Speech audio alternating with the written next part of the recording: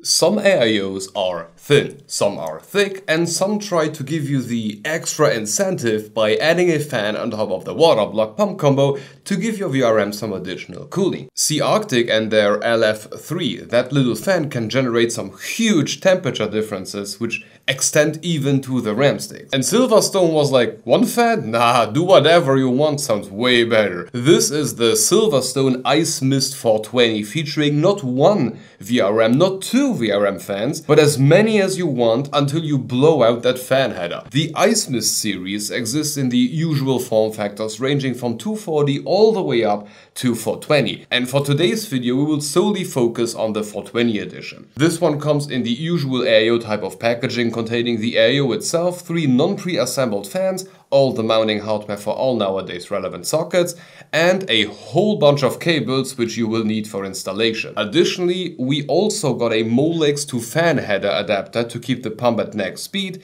as well as an ARGB controller in case your motherboard doesn't have a 3-pin ARGB header on its own. To get the AIO going on Intel, we need to slide on the Intel bracket onto the water block and screw the corresponding backplate using the corresponding socket screws, which are by the way way the same screws found on the new th Iceberg thermal AIOs and they are like impossible to remove after uh, after installation like with uh, with pliers not enjoyable at all. Anyway, from here, thermal paste and slap the cooler onto your chip. Over on AMD, we can use the AMD brackets on the cooler and leave everything as it is by using these hooks that grab onto the original AMD retention brackets. Not necessarily like the most enjoyable installation procedure, but it does the job. Now ignoring these optional hotspot fans here for a minute, because half the video is about them anyway, there are also a few quite interesting quality of life things that uh, Silverstone did on the IceMyst series like the fans. Included in the box we will get three of those 140mm 6-pole fans spinning at up to 70-50 RPM whilst pushing up to 93.29 CFM at up to 2.39mm of H2O. And I am not aware that these are sold separately, but they seem like slightly updated versions of Silverstone's Vista fans, except for some structural frame changes, the speed, motor and connectivity part, they seem almost identical, or at least the model number of the Vista 140 picture on Silverstone's website is identical to the one on my fans, which is weird because it's not the same fan. Anyway, the cool thing about them is how they are connected. We already had the Silverstone Shark Force, I believe, and there you would start off with a regular 4-pin PWM and 3-pin ARGB connection, and then you use a proprietary connection to daisy chain it from one fan to the next one.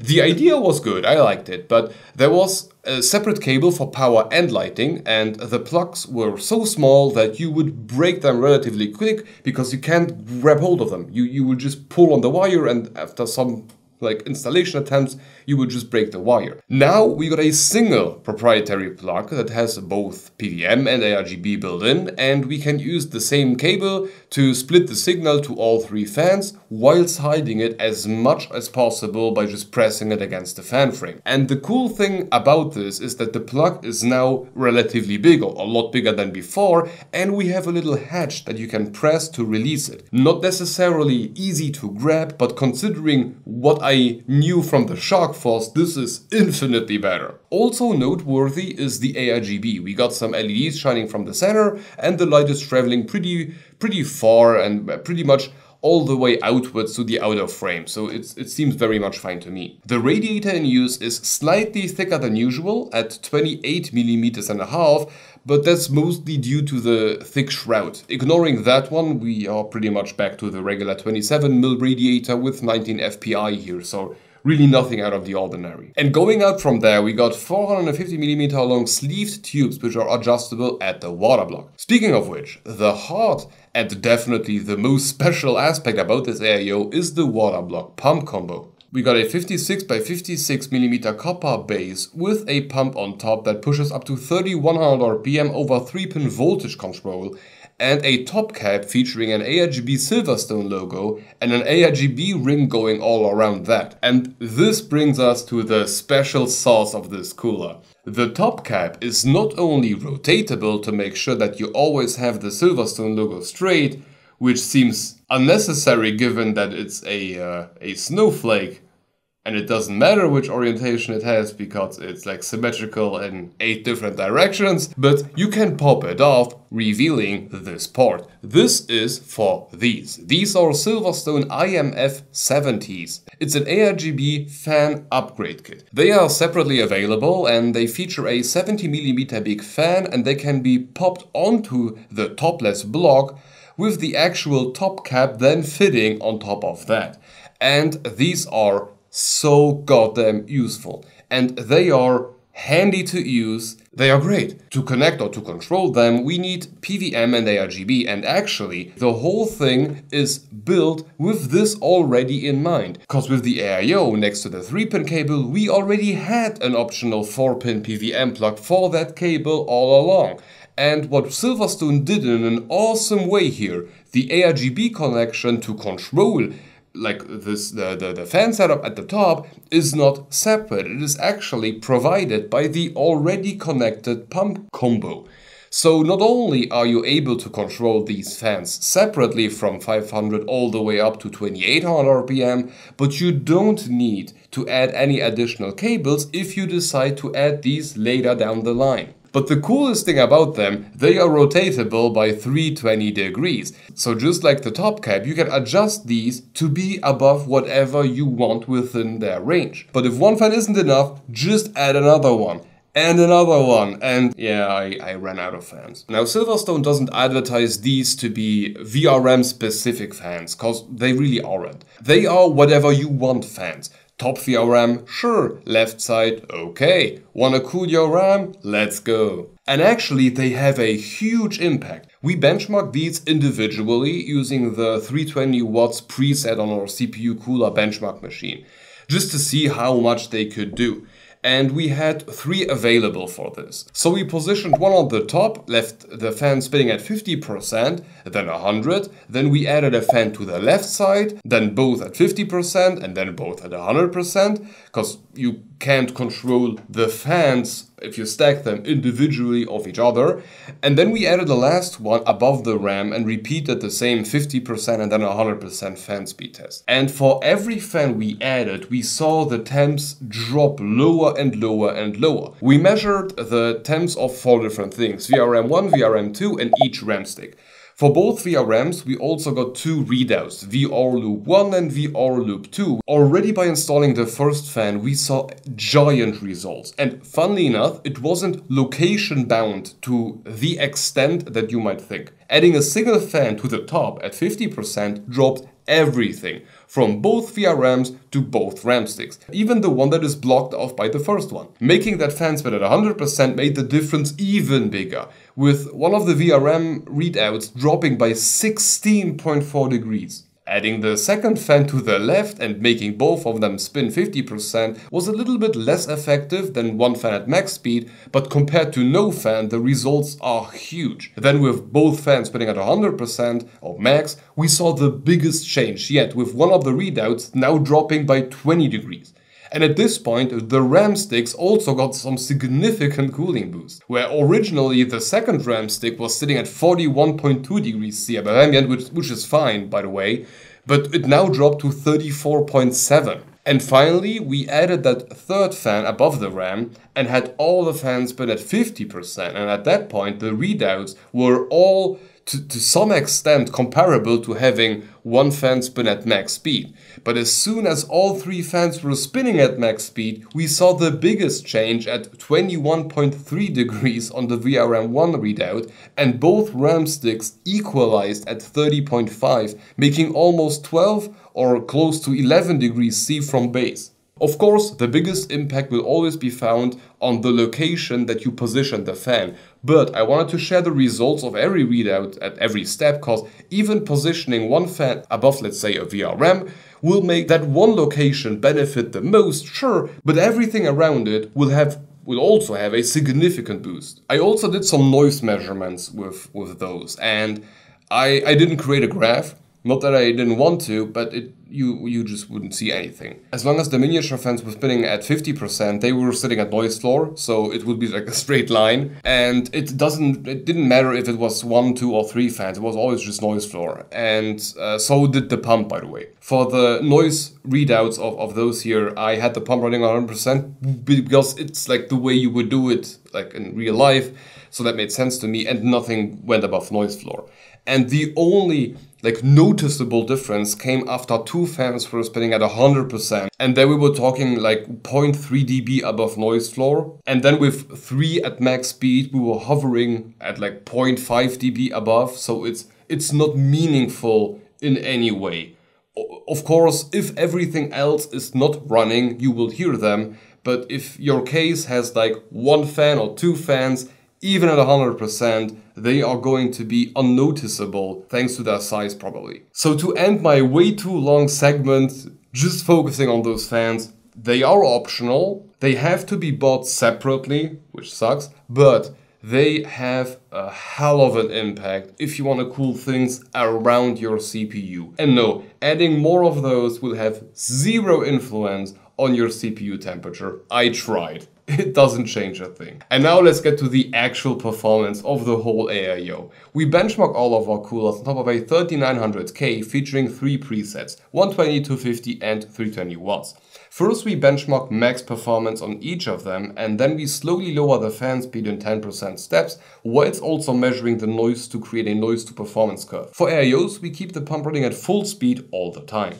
At 120 watts, aka gaming, the IceMyst 420 was able to keep the CPU at 27.1 degrees C above ambient, which is an excellent result. At the top of our list, so the cold plate is effective even at lower workloads, but nothing revolutionary here. However, something that is interesting, even at lower workloads, with AIOs of this size, and potential performance due to their size, we usually see very weird noise to performance graphs at 120 watts. Not because the AIO is cursed, but because lowering the speed of the fan doesn't have an impact because there just like isn't anything to cool down at that point. For the Silverstone AIO, as I lowered the speed, at least for the first 5 times, the average temperature of 15 minutes dropped by 0.1 every time. 0.1, 0.1, 0.1, 0.1. So by some miracle, we got a spectacularly clean line. At the top, roughly at the level of a nucleus, when normalizing performance and noise, but from there making it very quick to noise floor without a significant loss in temperature. And this led me to the conclusion that this thing is hella optimized. And even if it is just 120 watts, which is a complete joke for an AIO this size, if you want a game on a 14600K or even 14700K, whilst making sure that the AIO stays at noise floor all the goddamn time, this is the way to do it. Anyway, let's get to some actual heat. At 250 watts, the IceMyst started to show its worth in the max performance result. At 50.5 degrees C above ambient, it managed to take off first spot, outperforming the previously best EK nucleus by a degree and a half. And the corresponding noise to performance graph actually looks even more brutal. Now we are at a point where not even the nucleus stands a chance. And at 320 watts we got the same result but with a small twist. At 69.7 degrees C above ambient, the IceMyst landed on the first spot, but now it's closer to the second one, which might mean that we are approaching a cold plate limit. But that's just an assumption, and what's not an assumption is the noise performance graph at 320 watts. This is absolutely incredible. Compared to the Nucleus in 360 or, or even Liquid Freezer 3420, which previously shared the spot of the best noise to performance king at 320 watts, the IceMyst is just a different thing. From start to finish, this thing managed to keep the ratio just right, creating an incredibly silent operation even at this type of load. And the joke is, for our 320 watts benchmarks, I allow the CPU to go up to 110 degrees C before I stop the test by setting the temp limit to 115. That way I can uh, let the CPU not thermal throttle. And I do that because otherwise that list would have like three coolers. And let's be honest, keeping the temps stable at 320 watts is not something that anybody would do all the time. Usually people have like a short burst of performance where, where it, for a very short time it will hit that level and then it cools off immediately. And this test is aimed to find the limits but in a permanent basis. So the limits of the limits. No cooling down, just what can it survive forever. And actually, for the very first time, we have a cooler that would have survived the test all the way through, even if I hadn't removed the temp limit. For the first time, all the measurements were below 95 degrees C, which, which would be the actual limit in a regular scenario. Funny. But to summarize the performance, right now it's a best in class product. Raw performance, my unit is the best I have seen so far. Maybe just by a bit, but still.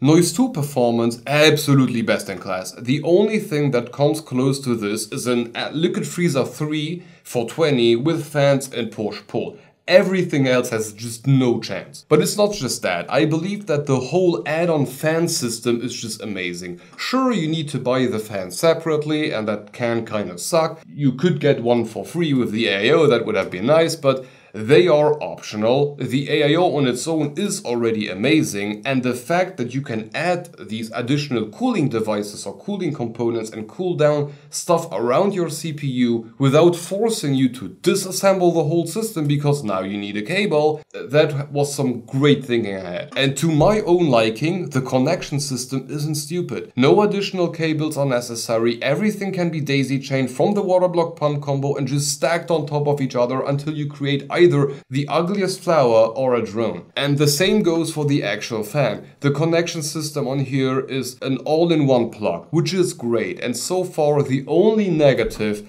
that I am able to find is the fact that this screw is not removable without pliers. And even on the price side, sure 160 euros right now and here is a lot for a budget AIO, but A, it's not a budget AIO it's a top performer. And B, it's still a joke if you look at the prices of the usual, like, ultra expensive brands. So if you are looking for one of, if not the best AIO right now, the Silverstone IceMyst for 20 should definitely be on your list, no matter what you're trying to cool. And as for my understanding, if I want to cool 320 watts permanently because I am, I don't know, rendering as a fetish, this is a way to go. But okay, at this point, this should be all for my new best in slot. And at this point, a huge thank you to Silverstone for sending it over. Oh, on a side note, we have a Discord server, so if you want to join, the link is down below. And we got channel membership, so if you are planning to sell your soul for an RG poop emoji, that's one way to go. But if not, I'm also releasing the content to all members two or three weeks in advance except for the NDA stuff, because you know I, I don't want to get sued. Additionally, you can rest assured that the income will not only keep the channel afloat, but will also serve to get an army of those. I want to find out what blows out first, my PWM port or whatever is inside that water block pump combo. Like, I am really eager to find that out. How many can I stack until something blows? Anyway, thank you for watching, and if you want to continue, have a look at this Shark Force fan, which we reviewed a long time ago, but it's like a 140mm fan which has 160mm blades. It's interesting, but hope to see you on the next one. Bye bye.